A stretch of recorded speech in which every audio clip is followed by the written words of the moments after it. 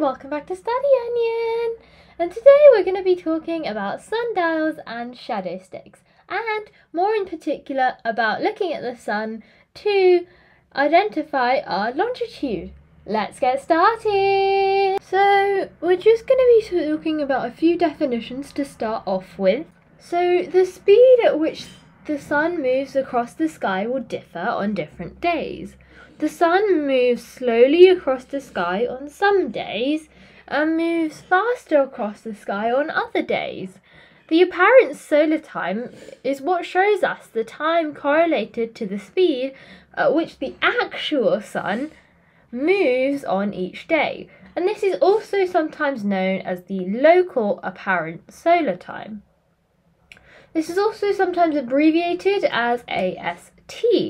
So, because the actual sun is unreliable in providing a steady measure of time, we have created an imaginary mean sun that crosses the sky at the same speed every day. And the time that it correlates with this sun is known as the mean solar time. Now, if you talk about the local mean time, the local mean time is the mean solar time for a specific location on Earth and all places that share the same longitude will have the same local mean time.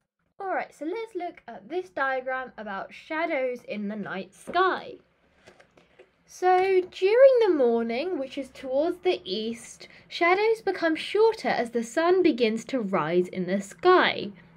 During about midday, the sun culminates, which means that it reaches the highest point in the sky, when and the lengths of the shadows are the shortest. In the afternoon or later in the afternoon, the sun is lower in the sky, which then means that the shadows become longer. And this is towards the west in the sky. Now let's take a little look at a sundial and see if we can label some of the parts. So the little like greenish plate on the sundial is known as the disk plate, and that is where the shadows are projected from the gnomon. So the gnomon is the part of the sundial which projects the shadows onto the disk plate, allowing for the time to be read. And what this shadow being projected actually does is that there are time labels similar to a clock on this disk plate and by projecting the shadow onto the display, it allows you to use the shadow as almost a dial to which to read off the disc plate. So let's take a little look at the equipment you need to perform the shadow stick experiment. Firstly, you'll need a sunny or outdoor space. This can be a park or a garden. Next, you'd like a straight stick or rod that's not too long, maybe about 30 to 50 centimeters long.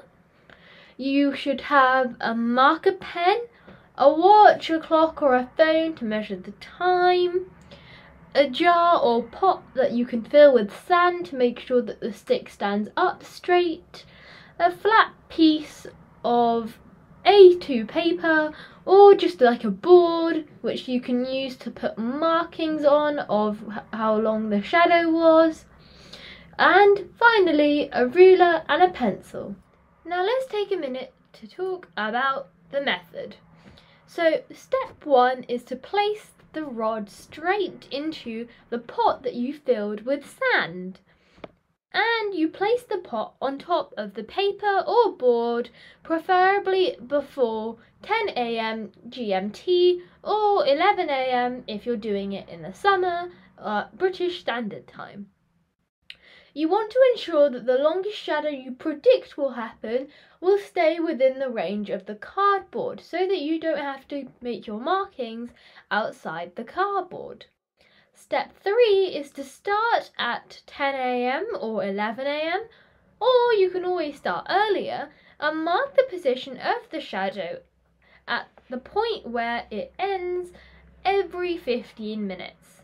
And you would like to or you should record the time with a watch or a clock or a phone in that same location.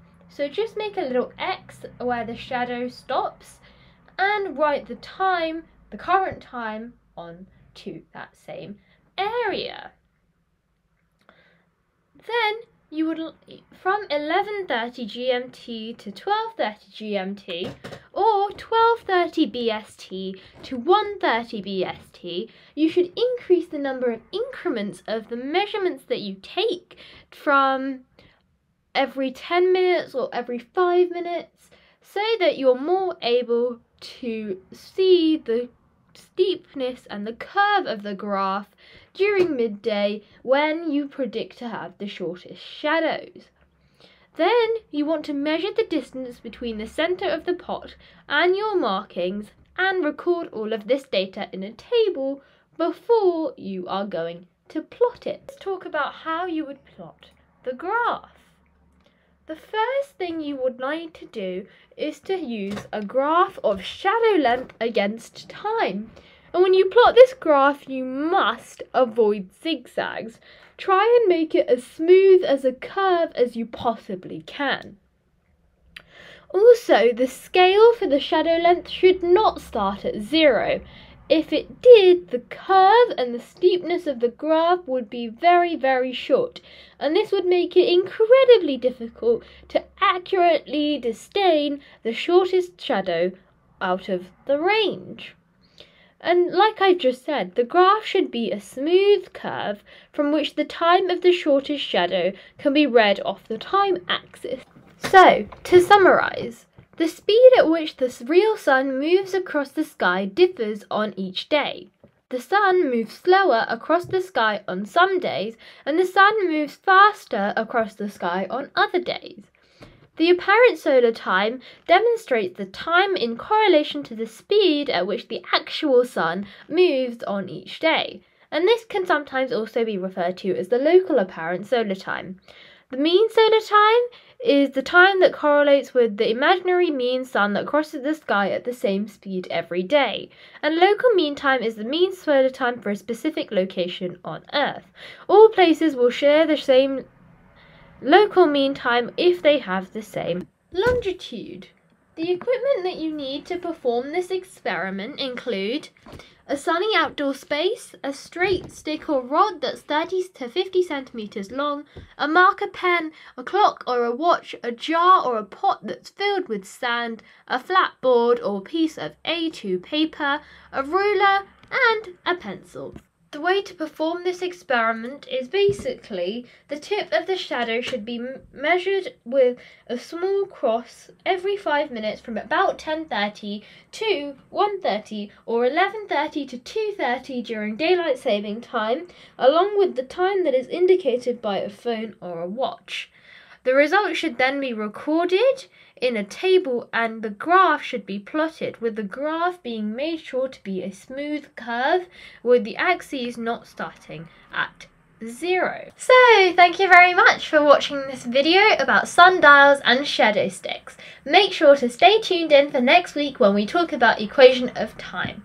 But for now, bye!